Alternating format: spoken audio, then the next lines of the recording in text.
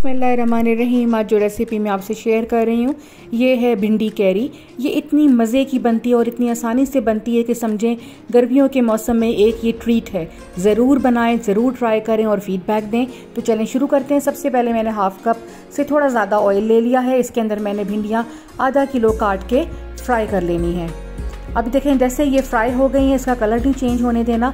हमने इसको ऑयल से बाहर निकाल के तेल को हमने रिमूव कर देना है। सिर्फ़ थोड़ा सा ऑयल रहने देना है। तकरीबन थ्री टेबल स्पून जितना ऑयल हम रहने देंगे। अब इसके अंदर मैंने एक ज़ीरा डाला एक चम्मच। जैसे ही ज़ीरा थोड़ा सा कड़कड़ाता है, मैंने प्याज डाल दिए हैं लच्छे में कटे हुए। दो बड़े प्याज़ों को मैंने इस तरह लच्छों में काट लिया है। आप चाहें तो किसी और तरह की कटिंग भी कर सकते हैं, ज़रा इस तरह अच्छा लगता है।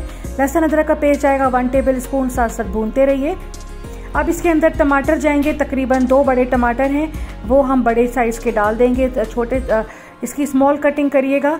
अब जैसे ही टमाटर हमने डाल दिए हैं नमक शामिल कर देंगे हाफ़ टेबल स्पून मिर्च चली जाएगी हाफ़ टी स्पून हल्दी पाउडर जाएगा हाफ़ टी स्पून सूखा धनिया जाएगा हाफ़ टी स्पून अब इसको अच्छा सा भून लीजिए अब जैसे ही टमाटर थोड़े से नरम पड़ते हैं, मैंने इसके अंदर कैरियाँ डाल दी हैं।